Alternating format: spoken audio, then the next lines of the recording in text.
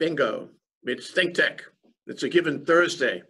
It's uh, what Global Connections today. And um, we have Karena Lyons. Uh, she's vice president of uh, East West Center. And we have um, uh, Tim Brown. Uh, he's a senior fellow there, um, skilled among other things in epidemiology. Wow, what a combination for a discussion we're going to have about New Zealand. Oh, and P.S. Karena is a Kiwi. we're gonna we're gonna find out what happened in New Zealand vis-a-vis COVID, and we're gonna find out what they did, how well they succeeded, and what we can learn from them. This is a really important discussion. So, Karena, well, you know, what is it about New Zealand that where people come together that way under the Prime Minister, uh, Jacinda Ardern, and uh, they listen to her, they take her advice, they enjoy her her good spirit, and they come together in order to beat COVID off. Uh, what is it about the community there? Kia Jay, and thanks for having us back. I'm glad that you're not sick of us yet. Uh, so, um, yeah, that's a great question. And I think um, Tim and I were just talking about this before we came on. And two things come to mind. Uh, firstly, the Prime Minister's leadership. Uh, she's a skilled leadership uh, leader herself. And um, I think what's been on display right throughout her term um, is her outstanding ability to empathize with people. Uh, and from a policy perspective, that enables you to predict how your decisions and actions will actually affect people. Um, so th there's a lot of skill involved there and, being empathetic and being a strong leader in that regard. Um, and then you've also seen that she has a lot of compassion and um, she's shown a lot of compassion right throughout the COVID crisis, but um, she's had to deal with a number of crises during her tenure. And um, when I think about the way in which she's displayed compassion, um, the sort of some of the most standout examples is during the, the horrible uh, terrorist attack there was uh, about a year ago when um, uh, a right-wing terrorist um, killed 50 odd New Zealanders as they were praying in a mosque. And um, oh, yeah. she got a lot of coverage actually. That was Christchurch, was it? That was in that was in Christchurch, and yeah. she got a lot of coverage because um, the U.S. Uh, as a as an ally to New Zealand, um, small a, uh, you know, the, the, president of the U.S. Donald Trump asked um, Jacinda Ardern, the prime minister, you know, what could the U.S. do to support? And she said um, the U.S. could provide sympathy and love for all Muslims.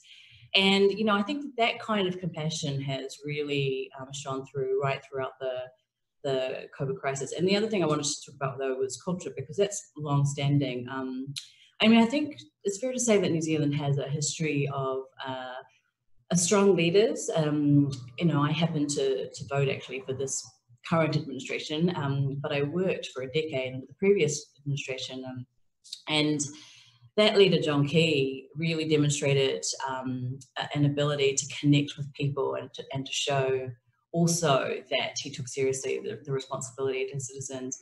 And then underpinning all of that is this commitment to egalitarianism. So, and then to kind of a good way to describe that and, and how it's important in terms of um, hmm. coming together as a, as a community to hashtag unite against COVID um, is to compare the US and New Zealand. So in the US, uh, I think the underlying or the main tenet of um, sort of American culture is this commitment to freedom. It's like the main political goal, it's fair to say. And in New Zealand, you would swap that out with equality. And so when you're trying to have a united community approach to fight off a common enemy that is COVID, uh, you have the community looking out for everybody because what they want to make sure is what's good for them is good for everybody else. It's all sort of fair. Yeah. Yeah. Well, that's that is uh, quite remarkable, and there's something Asian about that. We always have this tension, um, you know, between individualism and community. Um, you know, originally I talked to a number of our guests about this individually and, um, um, you know, doing something for the community. Jefferson said, make yourself useful. And when he said that, he was, he was saying, make yourself useful to the community.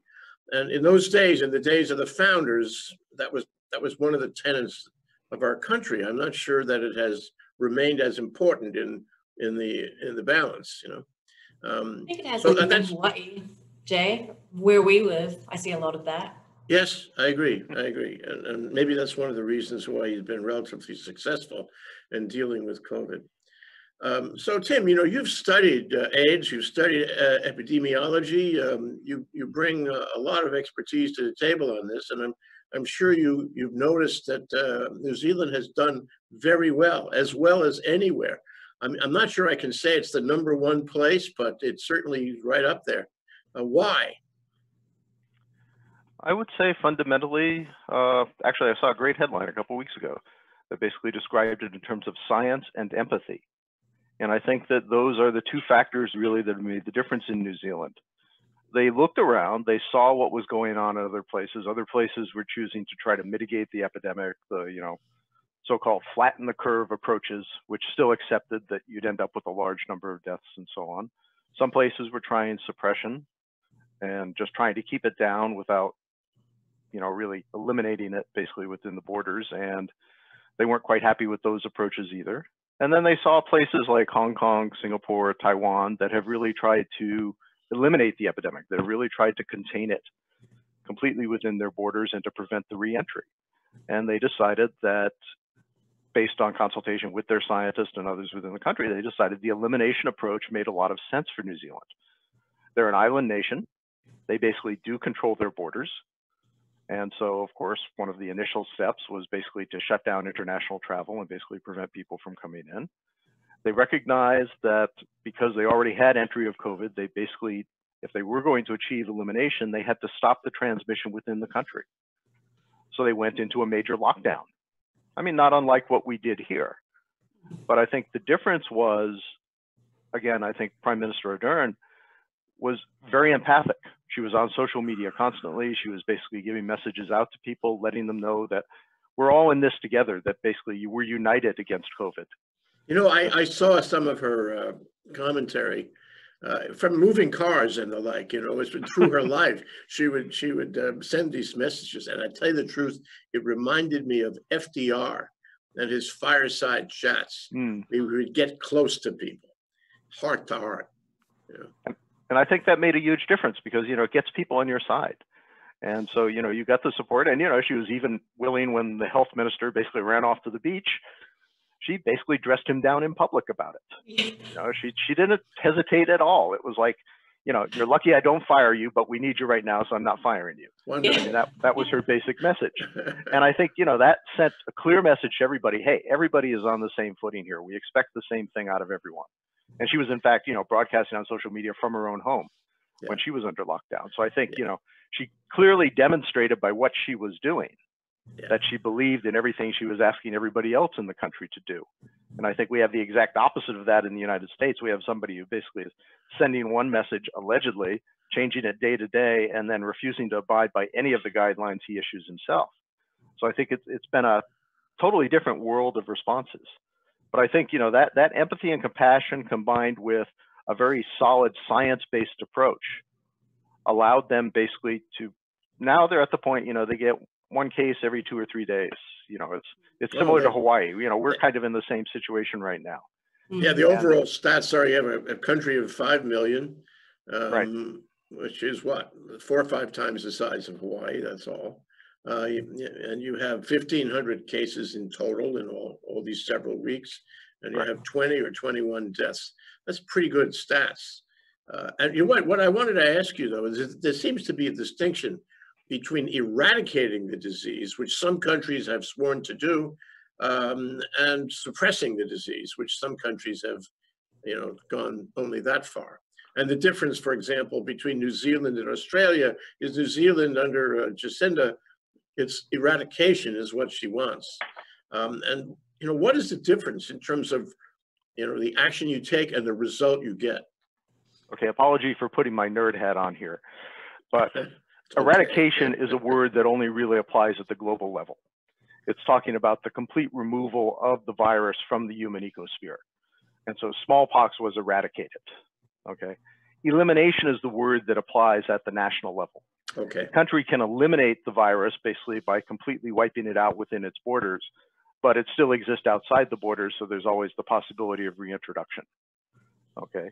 Uh, New Zealand chose an elimination strategy, which is they decided, look, we're an island nation. We have an opportunity here really to eliminate this thing and keep New Zealand safe, basically to make it a safe environment. And I think to a great extent, we have the same opportunity here if we take similar steps to what New Zealand is doing. And that's still an open question right now as to whether we're going to take the proper steps. But Mhm. they've been extremely careful every step along the way. You know, they're at level two now, which is, you know, if there are four levels, that's level one is the basically all- more or less back to normal, although with some physical distancing and some other precautions. They're at level two now. You know, the cases are still staying very, very low. They've opened up to some regional travel, but they are still not allowing international travel, except for returning residents. And when those residents return, they have no option. They go into a 14 day quarantine. And it's not the kind of quarantine we have here, which to a great extent, I hate to say it, is a joke. It's a make-believe quarantine. It's a make believe quarantine. In New Zealand, when you arrive at the airport, you are tested for symptoms. If you have symptoms, you are then put on a bus and you are sent to a quarantine hotel, a designated hotel by the government, and you stay there for 14 days. If you don't have symptoms, you are put on another bus and you are sent to the isolation hotel where you stay for 14 days. And you don't have an option on that. And the conditions at the hotel are just fine. In fact, you know, there, there was a social media blog that was actually complaining that the one problem they had at the hotel is there's just too much cake and they're putting on weight. They're feeding them very well. They're taking very good care of people at the hotel, but you go into that quarantine for 14 days, no ifs, ands, ors, or buts about it. You are going into that quarantine. And I think, you know, that's the kind of approach that we need here if we're really going to properly do quarantine and and isolation. There's a real tension on that, isn't there, Karena? Because uh, for a country of 5 million people, New Zealand has a lot of tourists. They come from around the world. Everybody wants to go to New Zealand. There's, there's something magnetic about the place. I, I can attest to that. I, I was there a few years ago and I loved it. I loved the people, the places. I loved how clean it was. They had the cleanest bathrooms in the world in New Zealand. Every single that. yeah, I mean, it's not it's not the normal way that we welcome tourists by locking them up. But I mean, I think um, just to reiterate the benefits of the elimination strategy. I mean, um, uh, in the words of Prime Minister you, you go hard and you go early. Uh, and then you get two key benefits from an elimination strategy is that you have fewer cases and fewer deaths, which really matters because they're real people, you know, from whole families, and every time somebody dies, it's an entire community that's affected. And, um, and so the other benefit is that you can get back to business much, much sooner. And so, as as Tim was saying, there's four levels in New Zealand. Um, on the 25th of March, which just seems like an eternity ago, they went to level four, which was super intense. It was complete lockdown, uh, and there were really strict rules, and the rules were fairly applied to everybody, even if you're the house minister. Mm. And you know, I should say, like he, you know, all he did was drive two kilometers from his home to go on a mountain bike ride. But the rule was you can only it, uh, exercise in your local community, and that everybody was to refrain from doing the kind of activity that might mean that you you hurt yourself and then you ended up in hospital and overloading the hospital systems. And so, you know, he was he was slammed for that. But I think um, now that they've gone all the way down to level two, the schools are open, businesses are open. Uh, you know, it's it's incredible. I mean, these are the benefits of going hard and going early.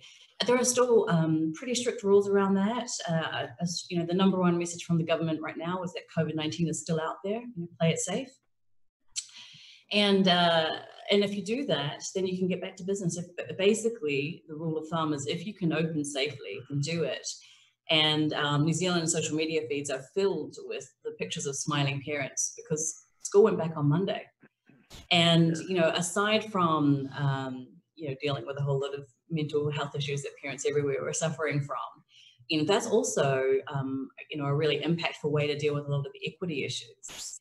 I think um, you know we've seen uh, right right across the world, um, and particularly in America, where some of these studies are being done, that um, households in sort of the lower socioeconomic um, sphere or category, those kids were not getting nearly as much schooling as as kids in rich families. Yeah, sure. Yeah. So the sooner you can go back to school, sort of the um, the sooner you can. You know, one of those things that. Jacinda uh, Ardern uh, has said that struck me is that um, you know, up till now, the, the uh, emphasis by the government has been on health. And uh, when you measure health against the economy, health is the most important thing. Um, until you're satisfied about health, you don't try to reopen. That, that's different from this country. Um, and uh, we, we have a question that came in while you were speaking.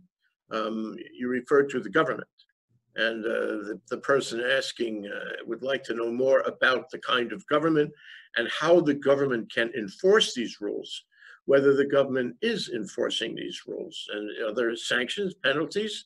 Can you get fined, go to jail? What happens? Um, firstly, about the government, it's a um, gosh, it's been a little while. It's a, it's a democracy. Uh, there are 120 seats in parliament, and right now there is a, a coalition. Um, there's a true coalition between two parties, but there's also a third party. So it's um, the Labour Party and New Zealand First, and they have a coalition agreement. And then there's a third party with a confidence and supply agreement. That's the Green Party.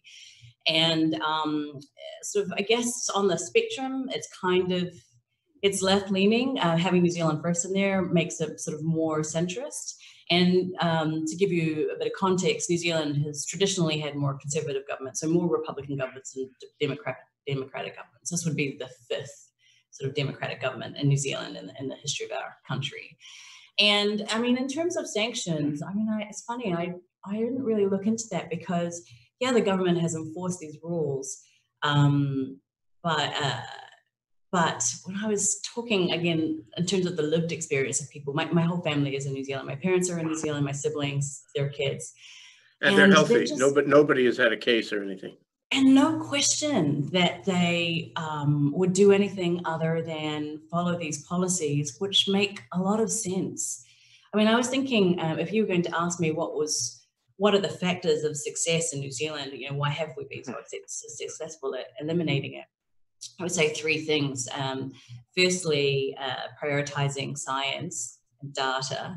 Uh, I mean, the Prime Minister has relied heavily on the Director General for Health, Ashley Bloomfield. He's a really mild-mannered man who's he's basically a celebrity now, and her chief scientist, Juliet uh, Gerrard, who's a researcher at Auckland University.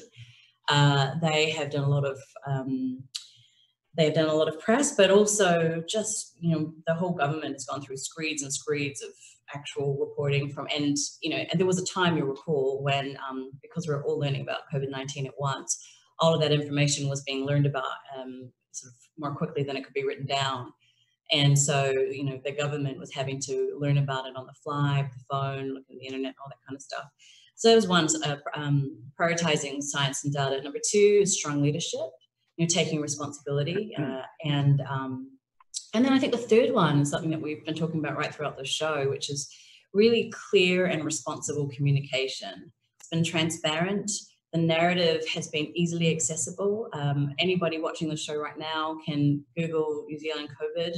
There is um, hashtag Unite Against COVID, um, any, any of those sorts of keywords, mm. and you can find the, um, the official New Zealand site has everything really set out what all the levels mean what what it means for your for your life if, if you're a parent if you're in risk if you're unemployed um, you know all of that's been really um, it's been really clear and consistent and there's another factor though there's another factor karena which you have referred to and that is the sense of community i, I was struck um, by articles in both the Lancet and the Washington Post about a week ago, uh, where they described the tone of the meeting um, of the cabinet that took place, where they decided to reopen the economy. It was only a, a hmm. week or so ago.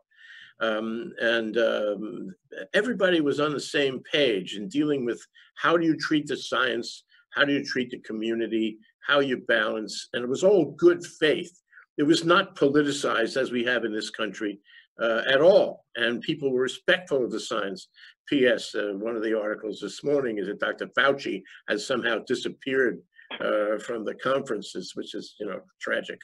Um, but, you know, the, the, in describing the tone of the meeting of the cabinet at which this momentous decision was made to go back step by step, um, it was very, it was very clear um, that people were on the same page. I envy that. I, I admire that. Um, uh, I, I, uh, I'm jealous of that almost as much as I'm jealous as the quality of the potato chips in New Zealand, which are very good. Yeah, no, the chips are great. I miss them a lot. Um, and as soon as the borders open up, you know, I'll be making my contribution to the GDP.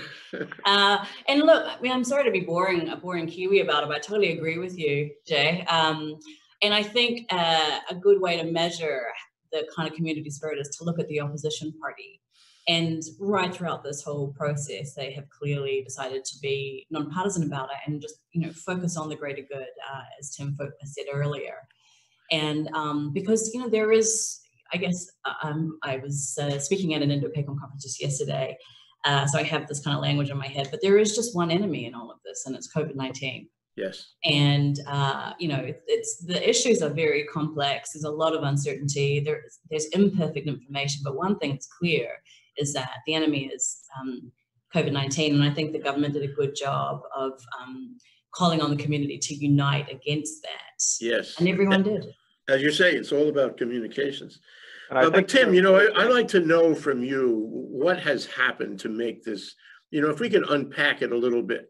We have, you know, various things in your in your your kit bag and in dealing with COVID. So would, testing would be one, uh, tracking would be another uh, and lockdown would be another, uh, locking the borders would be another. Um, so which of the things we should look at, for example, if we were going to evaluate what to do? Uh, and also, you know, uh, and it's a compound question. Um, also, you know, how how how successful have they been in the possibility that once you take lockdown off, you'll have a resurgence? So, what about those tools those tools in the kit bag? Okay, how did they me, work? Yeah, let me address that. I mean, like Karena mentioned, they've been science-based from day one. They've been extremely cautious. Uh, I think caution is a word I would use to describe their response. Okay, they haven't they haven't made many mistakes, and where they've made mistakes, they've then corrected them. I think you know one good example of that is contact tracing, which is one of the core components basically of an elimination strategy because in order to keep the virus out, you basically have to immediately stamp out any growing transmission chains or clusters that come about, and that requires very good contact tracing. They had problems with contact tracing in the early days, but then what they did was they commissioned a, an external review of their contact tracing system, and based on that review, they then committed to scaling up and expanding their contact tracing system to make it extremely strong. Okay, and they've been in the process of doing that. They've got it down to the point where 80% of the cases are traced within 48 hours. They're shooting for 24 hours, which is a much better goal. Or 100% actually within 48 is what they're shooting for. That's their mm -hmm. official goal. They put those metrics out for the public to see. They're on the website that Karena mentioned. They've been totally transparent about everything. When they've discovered clusters, they've actually put out a list of clusters basically it doesn't name the specific locations, but it says, okay, this cluster is around a wedding. This cluster is around a private party. This cluster is around a church service. And so they've put that kind of information out there so the public could know, okay, these are the types of places where transmission is occurring, and this is something I should be careful about. On the other hand, you know, trying to get cluster information here in Hawaii has been like trying to pry the pearl out of a clam. It just it's very, very difficult to get. And what little we get, we get out of press conferences rather than out of any clear exposition of what's going on. Yes. On testing, they've expanded their testing to include asymptomatics who are higher risk. We still review, we still have a strong reluctance to test asymptomatics here in Hawaii. They've expanded it to people in the tourist industry, although that's less of an issue right now with tourism shut off, migrant workers, backpacker hotels, all essential workers and workplaces that are kind of front facing if there's ever been a case. And those are lessons that we can learn here in Hawaii when we do open up and the tourist industry is going again. If we find a symptomatic case at say one of the hotels in Waikiki, we should then immediately test every worker in that hotel, basically to identify COVID infections and then immediately isolate any of the cases that we find. And I think you know that's a very valuable lesson. So they've been using their additional test capacity in a very intelligent way to identify additional cases within the community and eliminate them. And I think. Well, I think the point you make uh, about New Zealand and Hawaii is that you can't let your guard down when you reopen your economy. You can't lull yourself into thinking that the danger is less. You have to have all of those, the testing and the and the uh, tracking. You have to have it all ready to go in the event you need to use it. Otherwise, you, you have an unpredictable uh, situation. Exactly. And also, I think that, like I say, the other word I would use is caution in terms of reopening to tourism. Okay, that's an ongoing discussion. They have not made any firm decisions as to how they're going to reopen to tourism yet. But the, the current main topic of discussion is doing a trans-Tasman bubble that would allow Australia, people in Australia and New Zealand basically to go back and forth because that constitutes about 40% of their visitors. So that would actually give tourism a very reasonable soft start with a large number, you know, basically about 40% of the industry could come back under those circumstances. It won't come back that fast because just like here, people are still going to be afraid to get on airplanes. They're going to be cautious about traveling and so yeah. on. But eventually, you know, that could open up 40% of their tourism. There's still, it, has, it has a double uh, benefit. Number one is you're testing to see if, if that's going to increase the number of cases. And you're testing your own systems to see how you can reemploy them, redeploy them if necessary. Also, assuming you succeed in that, you're building brand. And when you go to the next phase, people will come to you because they're they're not afraid. They're not afraid because they've seen the what did you call it? The Tasmanian trans Tasmanian trans Tasman bubble. Thank you. yeah, can I can I just talk about the bubble for a second? Because I was trying to explain this concept to the uh, U.S. Army just the other day, and it's a really simple idea. And it's just like when we were on lockdown in New Zealand, everybody was told to stay in their bubble, and that's just the people that they live with, the little households. And as we went to level three, about a month ago at the end of April, you could kind of expand your bubble a little bit. So um, uh, parents who uh, were separated from grandparents um, and, you know, like having the kids together, like, you know, they could merge their bubbles. And so uh, this idea is really caught on as a vehicle for economic recovery. And the idea is that you have you know, Australia and New Zealand, which are kind of trending on a similar trajectory hmm. uh, in terms of safety and and and you merge the bubbles um, but you still you still have this protective outer layer and so that right now there, there are discussions about a trans-Tasman bubble, New Zealand and Australia, but also a Pacific bubble. So all of the, the members of the Pacific Island Forum, there are sort of 18 nations there. I don't know that you'd get sort of north of the equator because it's, it's trickier. Um, I mean, it's important not to underestimate the logistical difficulty of merging bubbles. Just at the moment, there are um, New Zealand has just started to repatriate citizens back to Samoa. So um, Samoa was in complete lockdown um, because it has a, sort of a fragile health infrastructure. And in order to safely repatri repatriate citizens back to Samoa, people have to get tested in New Zealand, and then if they're if they are positive, then they have to go into quarantine before they go back to Samoa. Uh, when they arrive, they're sort of in isolation, and there's sort of a formal agreement between the governments. Like, it's a lot of work to merge the bubbles, but it's quite a good way to think about it because it gives you the opportunity to exercise caution, as Tim's been saying. Well, you, know, you're you're a global person, Karena. Um, you you know you not only have you studied law in various continents, you studied diplomacy in various continents, and uh, certainly around the Pacific. And um, you know, I, I see New Zealand as somebody who knows a lot about this on all the levels we've discussed. Uh, somebody who could export these these ideas, these techniques uh, elsewhere, um, and have those people, you know, benefit by learning from New Zealand. It's been it's been a real success story. So the question is, um, how can that be done, and for whom can it be done? And uh, what can Hawaii learn? What can the United States learn? The biggest nut of all. Um, that's a double entendre. Uh, what can we learn from New Zealand, and how can we get the message over? Yeah, that's that is tricky because I clearly um, think the United States is is a great place. I live here and I and I choose to, uh, and I think that um, it's really just make about making choices. And what I would really love to see this this might sound really cheesy, but I would just love to see the U.S. leadership choose to be more compassionate to its citizens. And then I think from there, a lot of other really sensible lessons that you can get from New Zealand, from Taiwan, from Singapore, from South Korea, all of those things would flow. And, you know, one example of that is um, something that hasn't got much press, I'm surprised, but um, the Prime Minister and all of the cabinet ministers took a 20% pay cut for six months uh, to dem- in solidarity of all of those who've been impacted by um, by COVID nineteen. And I think at a time when there really is a lot of a lot of hardship, and we're yet to see the true the, the full impact of of this disaster. Um, we need a lot more compassion in the United States. Hmm, there you go. That's really a bottom line. I really appreciate that. And I think that strikes right at the heart of it. So if you were going to make a, a final statement of advice about this, Tim, what would you say to the American people? I'd say we need to do a better job of doing what New Zealand has done, which is to follow the science. That is, pay careful attention to what's going on epidemiologically. Only op open your businesses at the extent that the epidemic is allowing, which I think New Zealand has excelled at and has done an excellent job, like Karena said. They went early and they went hard and basically they controlled it and now they're able to open much more rapidly than we are here.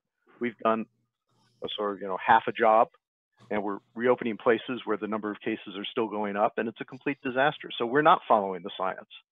And if we don't follow the science, then we will basically damage both the economy and public health because the science is the fastest way basically to contain this virus, keep it down, and then basically be able to open up the economy fully again. Thank I you, think Tim. we need to follow the science. Thank you, Tim. Thank you, Karena. We, we now know that it's it's both things. It's having heart and having science. It's the human condition. Thank you so much for this discussion. Aloha.